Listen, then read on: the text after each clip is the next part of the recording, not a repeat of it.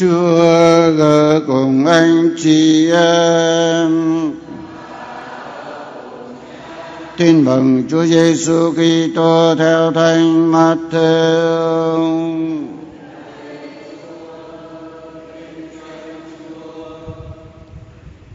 Khi ấy Chúa Giêsu thấy đoàn lũ đông đảo, người đi lên núi và lúc người ngồi xuống các môn đệ đến gần người. Bây giờ người mở miệng dạy họ rằng, Phúc cho những ai có tinh thần nghèo khó Vì nước trời là của họ.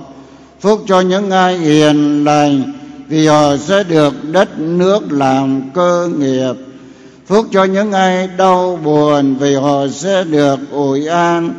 Phúc cho những ai đói khát điều công chính, Vì họ sẽ được no tỏa Phúc cho những ai hay thương xót người, thì họ sẽ được xót thương. Phúc cho những ai có lòng trong sạch, thì họ sẽ được nhìn xem Thiên Chúa.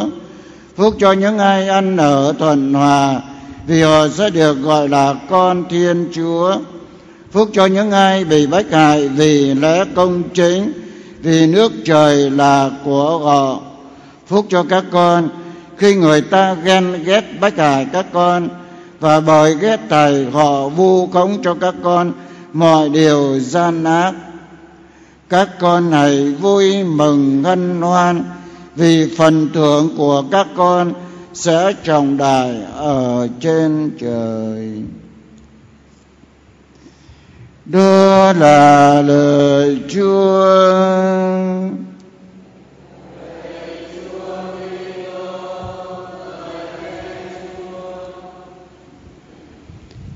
Kính thưa quý ông bà, anh chị em thân mến, Hôm nay cùng với toàn thể giáo hội công giáo Hân hoan mừng lấy chồng các thánh nam nữ ở trên trời.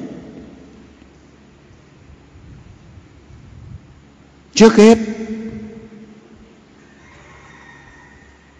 Chúa Giêsu đã vạch cho chúng ta một con đường nên thánh, một con đường để được hưởng hạnh phúc, một con đường để được sống đời đời. Bởi vì tất cả mọi người chúng ta sống ở trần gian này, ai cũng muốn hạnh phúc, ai cũng muốn sống hằng đời đời, ai cũng muốn cho mình sống lâu. Đó là một cái ước vọng rất là tự nhiên của con người. Và ai cũng muốn sống sung sướng, không muốn sống nghèo, không muốn sống đau khổ, không phải muốn sống vất vả. Ai cũng muốn có giàu, có hạnh phúc. Từ cha mẹ cho đến con cái, cha mẹ hy sinh để tạo hạnh phúc cho các con đó là điều rất tốt và cũng rất hay. Không có gì chê trách. Bởi vì cái ước muốn đó là cái muốn ước chính đáng. Cái muốn ước được hạnh phúc. Cái ước muốn được sống lâu. Cái ước muốn được sống đời đời. Không có gì là trái, không có gì là hay, không hay, mà là cái đất là hay. Đối với ước mong hy vọng của tất cả mọi người chúng ta vậy thì cái gì để chúng ta được hạnh phúc? Cái gì để chúng ta được sống đời đời? Đây là một cái chìa khóa mà Chúa trao cho mỗi người chúng ta. Qua tin mừng hôm nay, chúng ta gọi là tám mối phúc thật. Hãy nói một cách dễ hiểu, đó là cái chìa khóa mà Chúa trao cho chúng ta để mở cửa nước trời. Chúng ta phải biết dùng cái chìa khóa này như thế nào để mở cửa vào nước trời. Đó là tùy thuộc mỗi người trong chúng ta. Chúa không bắt chúng ta. Chúa chỉ trao cho chúng ta cái chìa khóa. Vậy rồi mỗi người tự mở cửa nước trời không ai có thể giúp đỡ chúng ta được. Mặc dầu có những người khuyên, có những lời nhắc nhủ của người thân, của người chung quanh, của bề trên, nhưng mà cái quan trọng là cái chúng ta phải khám phá và mở được cửa nước trời. Đó là quyền và bổn phận và trách nhiệm của mỗi người trong chúng ta. Thưa quý ông bà, anh chị em vậy thì, thưa quý ông bà, anh chị em, bài tin mừng mà chúa muốn mời gọi chúng ta, đó là cái sống làm sao để được hạnh phúc, sống làm sao để được hưởng nước trời. Nghĩa là chúng ta phải sống khác người khác người công giáo của chúng ta cũng phải sống khác với những người khác. Đấy đấy là cái điều mà chúng ta cần phải ghi khắc. Chứ còn chúng ta sống như tất cả mọi người. Người ta làm gì chúng ta cũng làm, người ta nói gì chúng ta cũng nói. Người ta hành động như thế nào chúng ta cũng hành động. Chỉ dứt khoát, chúng ta không được hưởng hạnh phúc. Tin mừng mà chúng ta sống nghèo. Mà nghèo thì người thế gian là bảo thế này về thế kia. Tin mừng bảo chúng ta phải sống khổ hạnh. Tin mừng bảo chúng ta phải thương xót. Tin mừng bảo chúng ta phải sống sông sạch. Có phải là đi ngược lại cái cuộc sống hiện tại của con người nhân loại chúng ta hay không? Do đó khi chúng ta đi theo chúa để được hưởng hạnh phúc, thì chúng ta phải ngược dòng. Đi ngược dòng, người ta đi xuôi mình phải đi ngược. Đây là cái rất khó khăn. Đấy là cái đòi hỏi sự cố gắng phấn đấu của mỗi người chúng ta. Và đây là cái mà chúng ta cầm chìa khóa mở cửa nước trời thưa quý ông bà, anh chị em. Vậy thì những người đã mở cửa nước trời, đó là những ai? Thưa quý ông bà, anh chị em. Trước hết là các thánh tông đồ Đấy.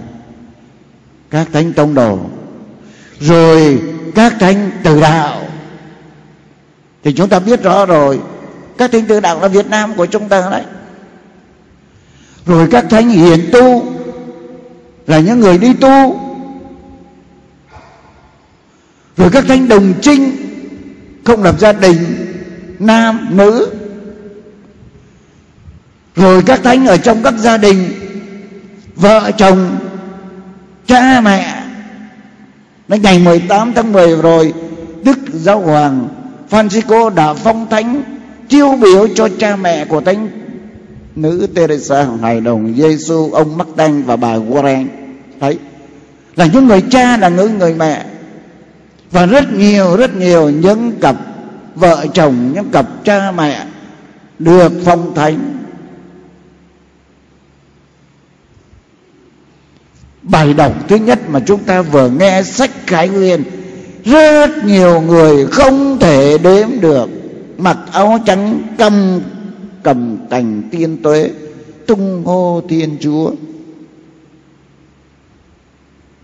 Vậy thì các ngài đã sống như thế nào? Trước hết cũng là những con người như chúng ta.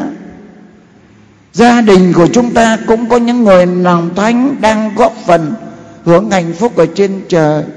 Gia đình nào cũng có. Thì các ngài cũng sống rất bình thường như mỗi người trong chúng ta.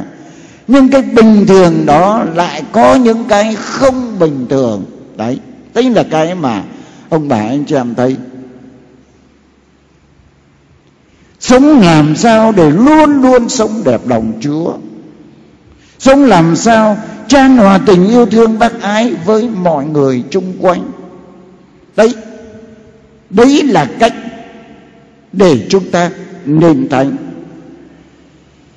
như là có thể nói là một người công giáo tốt tốt đối với thiên chúa và tốt đối với mọi người. Và chính cái tốt đó là cái chìa khóa để chúng ta được vào nước trời, được hưởng hạnh phúc viên mãn. Các thánh cũng làm những điều đó. Không có gì khác chúng ta. Nhưng mà khác ở chỗ đặc chất cảnh, biết phấn đấu, vượt qua những khó khăn, chống trả những cái cam dỗ, và lỡ có phạm tội, các ngài ăn năn sám hối, trở lại ngay lập tức để xin ơn tha thứ của thiên chúa. Nghĩa là luôn luôn làm cái gì đẹp lòng chúa thì làm, cái gì không đẹp lòng chúa thì không làm. Nghĩa là tất cả cuộc sống của các ngài luôn luôn sống đẹp lòng chúa. Và đồng thời, bác ái với mọi người chung quanh. Vậy thì, thưa các ông bà, anh chị em, chúng ta bảo ừ các ngài khác, còn tôi khác, không khác chút nào hết. Cũng là cha mẹ của chúng ta, cũng là anh em họ hàng của chúng ta, những người bạn thân của chúng ta. Có khác cái gì? Có khác là chúng ta không muốn phân đấu. Hay nói cái khác là chúng ta không muốn hưởng hạnh phúc nước trời. Chúng ta cho một cách là sống đến đầu hay đến đấy, đến đầu hay đến đấy, chả cần, đấy. Nhiều khi chúng ta quan niệm như vậy, để rồi không có phấn đấu, gặp những trở ngại, những thử thách thì chúng ta than vãn, chúng ta kêu trách cách này, cách khác. Chúng ta cho là chúa không thương, chúa để cho tôi thế này, chúa để cho tôi thế kia khi bị cám dỗ, khi phạm tội, không ăn năn trở lại, cứ sống mãi trong cái tội lỗi của mình, thì làm sao mà sẽ được hạnh phúc? Cái tâm hồn cũng luôn luôn không được bằng an, thì làm sao có hạnh phúc được? Thánh augustino bảo mỗi người chúng ta từ xét mình. Người này lên thánh được tại sao tôi không nên thánh? Ngôi châu nô đã khẳng định cái điều đó. Người này nên thánh được, tại sao không nên thánh? Tôi không nên thánh. Do đó mà chúng ta thấy thánh Augustino là một con người cả cuộc đời, ba mươi mấy năm trời, sống trong tội lỗi. Nhưng mà cuối cùng ngài đã phấn đấu, dẹp bỏ cái con đường tội lỗi để trở về với Thiên Chúa và làm thánh. Thánh Tomaso một hôm chị của ngài hỏi này Tomaso nên thánh có dễ không? Thì Tomaso trả lời với bài chị là thưa chị nên thánh dễ và khó. Đấy, dễ và khó. Trước hết khó là bởi vì không muốn thì nó khó thôi. Còn dễ là những người muốn muốn làm cái gì cũng được. Khó cho những người là không muốn làm. Đấy. thánh Thomaso bảo với bà chị, muốn nên thanh dễ có, vừa dễ và vừa khó khó nhau chúng này không muốn làm và dễ cho những ai muốn làm. Vậy thì tiếp theo nữa là gì? Thì thánh Tomaso trả lời, muốn, trước hết là muốn. Đấy. sau bước thứ hai nói gì? Muốn hơn nữa. Và bước thứ ba nói gì? Muốn hết mình. Không có gì khó mà chúng ta không làm được, thưa quý ông bà, anh chị em. Nên thánh hay không là tùy mỗi người trong chúng ta thưa quý ông bà anh chị em nhưng tôi phải nói một điều là tất cả mọi người phải nên thánh. Phải nên thánh chứ không phải là muốn nên này là không muốn nên. Đấy. Bởi vì đi theo chúa cái cuộc, cuối cùng của cuộc đời của người chúng ta là lên thiên đàng. Mà không muốn lên thiên đàng thì đi theo đạo làm gì? Có phải không? Ông bà anh chị em rõ ràng là như vậy đi theo đạo công giáo, mục đích cuối cùng là chúng ta được hưởng hạnh phúc nước trời, được lên thiên đàng. Mà không muốn lên thiên đàng thì không đi đạo công giáo làm gì hết. Bỏ đạo công giáo đi đi đạo này, đạo kia đi. Còn nếu đi đạo công giáo thì bắt buộc phải đạt được cái mục đích cuối cùng của mình là lên thiên đàng.